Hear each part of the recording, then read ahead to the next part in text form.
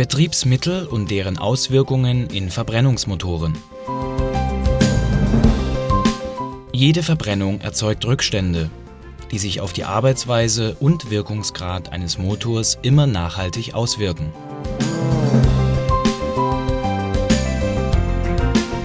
Insbesondere wird die Verdichtung vermindert durch Rückstände im Bereich der Kolbenringe, der Ölabstreifringe und deren Nuten.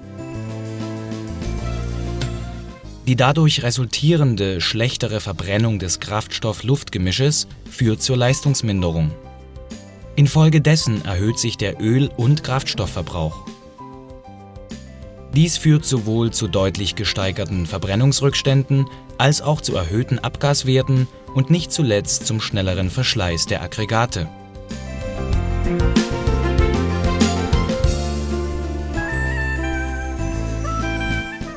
Teile der Gemisch- und Verbrennungsgase verflüchtigen sich in das Kurbelgehäuse, beschleunigen dadurch die Ölalterung und können zu Funktionsstörungen der Kurbelgehäuseentlüftung führen.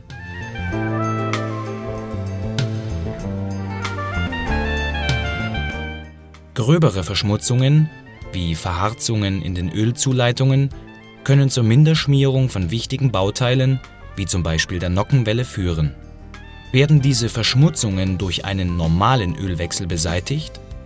Zur Veranschaulichung werfen wir nochmals einen Blick in das Kurbelgehäuse. Bei einem einfachen Ölwechsel wird das Altöl abgelassen. Jedoch werden mit dem Altöl nicht alle betriebsbedingten Verschmutzungen entfernt. Ein Teil verbleibt in Form von Ablagerungen im Öl- und Schmierkreislauf.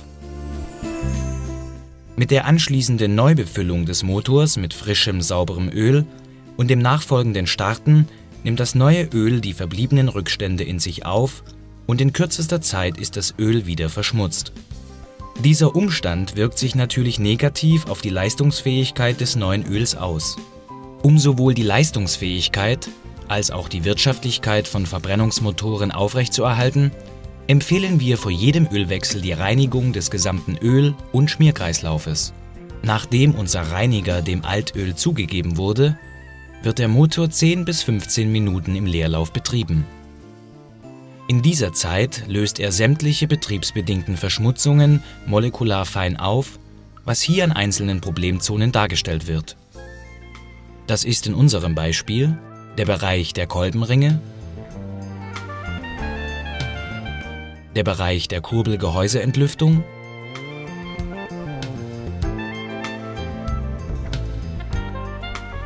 und der Bereich der Nockenwellenschmierung.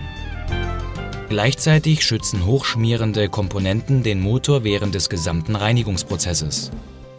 Elastomere wie Wellendichtringe und O-Ringe werden geschmeidig gehalten. Mit dem Ablassen des Altöls werden jetzt alle Verschmutzungen entfernt. Wir erhalten damit einen sehr sauberen Öl- und Schmierkreislauf, den wir mit neuem, frischem Öl befüllen. Erst jetzt kann das neue Öl in der gereinigten Umgebung seine Eigenschaften optimal umsetzen und die bestehenden Anforderungen wie Schmieren, Dichten, Kühlen, Reinigen und Partikel in der Schwebe halten erfüllen.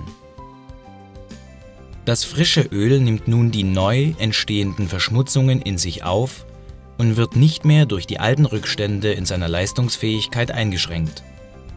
Wir erhalten im Ergebnis neues frisches Öl in einem sauberen Motor, optimierten Öl- und Kraftstoffverbrauch, verbesserte Motorleistung, weniger Verschleiß der Aggregate, geringste Abgasemissionen und längere Lebensdauer des Katalysators